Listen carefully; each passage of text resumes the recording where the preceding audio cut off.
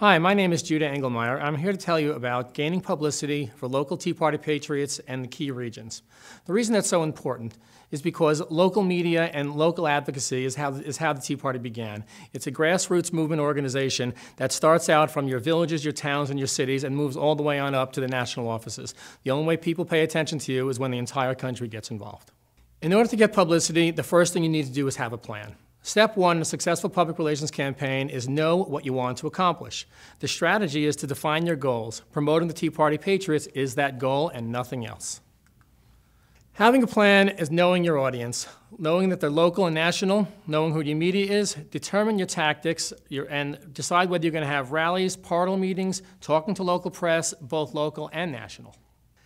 People often think that getting media is an ego thing, but it's not bad to want press and attention for the issues you're championing. In order for people to know who you are and what you do today, you've got to be seen. Getting media for issues that are important is perfectly valid and perfectly acceptable. Rule number one, getting publicity for the Tea Party Patriots and its issues, it's not to further your agenda, it's to further the Tea Party Patriots agenda, and that's key to remember. By properly branding and recreating the Tea Party Patriots image, we can make Tea Party go from what's here on the left to what we see on the right. The left are images that the media creates about us. On the right are the images that we want to portray, the message that we want to send, and the reasons we're in business. The tips you're going to need are to determine how your goal fits in with your overall marketing strategy. Broadening the appeal of the Tea Party Patriots should be that marketing strategy, and everything you do should surround that. Determine what you want your audience to do. Who's your audience? Is it the TV watchers, the print and internet readers, or rally attendees. Whoever they are, determine who that audience is and let's cater to them. Another tip is identify the media that your audience consumes. Which venues do you want to be seen in? Is that television? Is it online? Is it internet, social media? Is it radio? Make it relevant to your audience or it will not have any impact whatsoever. The Tea Party Patriots will get good publicity if you each understand and control the perceptions about your organization, know how to develop a brand, understand public opinion, practice good media relations, and create smart and strategic signs and branding and ads. It's very important to you know that you have to control the message. Don't let other people make that message for you. And all these tips are designed to help you control that message. So what do you need to make your public relations work? Well, you need a public relations toolkit. That'll be an organizational background informational, executive profiles, policy and issue information, news releases and templates, and email templates. And remember, the key to good public relations is consistency, making sure that your message is consistent, that the ideals and goals are consistent, and the look and feel are consistent. That way people could easily identify the Tea Party patriots with the issue and respect it. So what's the best way to get more publicity for your group? It's very simple. Word of mouth and personal touch.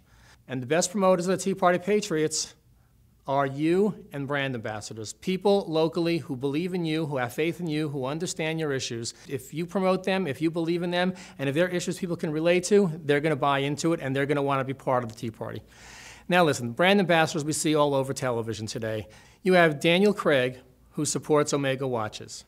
You have Scarlett Johansson, who supports SodaStream, and of course you have Bruce Springsteen, who stands with Barack Obama. You don't need to be a celebrity to be a brand ambassador. The truth of the matter is, if you're local, if your wishes are important, this is something that matters to everybody, and they're going to want to support it. They believe in you, you're their friend, you are their brand ambassador. Personal contact. You should speak to groups, talk about Tea Party Patriots with your friends, hold house parties for the Tea Party Patriots, and be prepared to represent Tea Party Patriots on local media. It's very important because as you get to be recognized in this area, people are going to come to you and media is going to come to you. You have to be prepared to address those issues. Once you have an audience, you have to tell a good story. Getting media attention is dependent on having good stories and telling them well. People react to ideas and stories they can relate to. Make it about someone or some policy that hits home. There's nothing more important for local media than stories that hit home. They're not usually interested in things that don't matter to them locally. Key is to tell a good story. Local media reacts to local issues before national ones. You're better served by being a local Tea Party Patriots leader with very identifiable and relatable reasons for getting press. There's a well-known mantra in politics. All politics are local. Every good politician knows that. If you want to get elected, if you want your issues to be heard, you have to speak to the people that are voting for you. That's the people and the issues that matter to the people in your local community. Storytelling 101. Make sure your story is newsworthy appeal to human interest, Use emotional hooks to engage audiences. Tie your story to what's going on in the news, local and then national. Back up your story with evidence and statistics. Facts are extremely important and not easily brushed aside. Create a call to action that'll motivate audiences and that'll also bring the press back to find out how that call to action worked.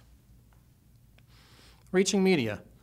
Knowing how to interact with reporters is vital skill for getting the Tea Party Patriots public relations it deserves. And in your own regional neighborhood, find the local newspapers, TV stations, radio, and even the prevailing bloggers who cover the local politics, policies, the city, town, village, and state government matters. Get to know those reporters. You can find that contact information often on the internet, and if not, make a phone call to the news groups and ask them. You could very easily get email addresses, telephone numbers, and often Twitter handles. It's also important to get the same information for news desks and the news producers. Once completed, make it a point to call and introduce yourself and introduce the Tea Party Patriots to them. Set up coffee meetings or whatever the reporter is comfortable with and establish a relationship with him or her.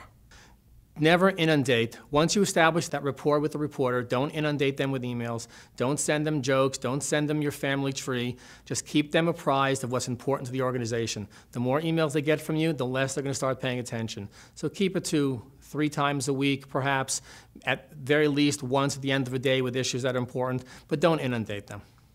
Before your pitch, you should dedicate a spokesperson to represent your organization someone who can speak well and who can understand the difference between personal opinion and Tea Party patriot ideology. And that's very important, and I have to keep on re-emphasizing that. Know the positions your organization has on every issue.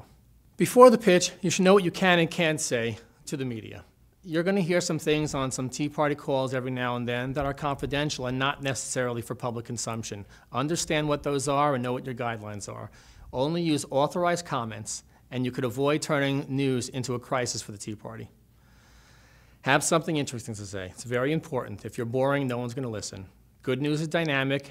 Don't be boring. And always consider whether you'd be proud if your children heard or saw you perform on the news. Tailor your pitches to specific people in the media. Understand when you're going out to media, the reporters who cover various different beats, whether it's a government beat, an education beat, local infrastructure beat, whatever it might be. Understand that reporter that you're going to and present them issues that are important to them. Because if you tell them something that they're not covering, you're not going to get that coverage. Be responsive to reporters' deadlines.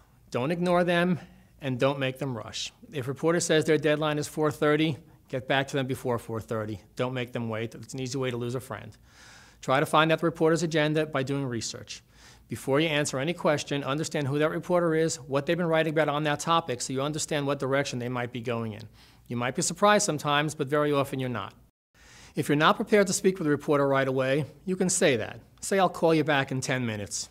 Never be caught off guard, and don't be afraid to ask them to wait a few minutes. But call them back if you say you're going to. Never lie, never make it up. Write down the key messages that you want to deliver and call them back and stick to those messages. Practice responding to questions that you know you will be asked. Very often, when you're dealing with policies and politics, we understand some of the questions that are going to come our way. Expect them, know how to respond to them. Answer the question that you want to answer. It's a skill that can be learned. It's called a pivot. A good example of a media pivot is, if you remember back when Barack Obama was on with Bill, with Bill O'Reilly on Fox News talking about the Obamacare website and how it wasn't performing so well. Bill O'Reilly asked him point blank, is Kathleen, Kathleen Sebelius going to be fired? Barack Obama looked at the camera and simply commented on how well people are doing on the website signing up and how great it's going to be that people are going to be having health care. He never once addressed the question. Bill O'Reilly never went back to it, understood it wasn't going to be addressed. The president said what he had to say, and he pivoted successfully.